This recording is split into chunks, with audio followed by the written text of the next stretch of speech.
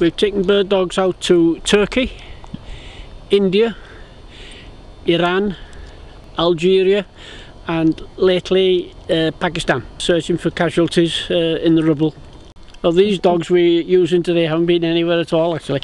Uh, they have to go through an assessment every year to make sure that they are of the quality uh, that is required of them.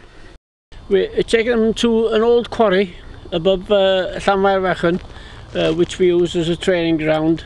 The buildings here are old set makers sheds where they used to make the sets and the roofs have collapsed in a manner that simulates a floor collapse in, a, in an earthquake situation where the complete slab of flooring has fell at an angle. People get trapped underneath.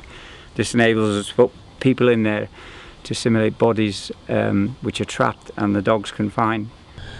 But how we train these the, these dogs, uh, we let them play with a squeaky toy or a ball first to get them all excited. Then we take the ball off them. A person goes to hide behind a rock or behind a tree or in a bush and the handler sets the dog after them. All the dog wants is the squeaky toy to play with. Uh, the casualty, when the dog finds a casualty, the casualty doesn't give the ball to the dog until he barks and that's an indication to the handler that uh, he has found a casualty. And then the handler walks into the dog and says show me show me.